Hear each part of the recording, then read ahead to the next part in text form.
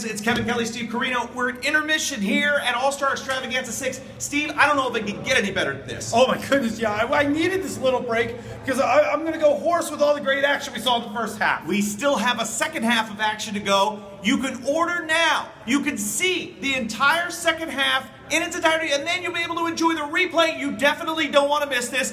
AJ and Adam Cole, one of the best matches we've ever hmm. seen. Do it now. Order now. ROHWrestling.com.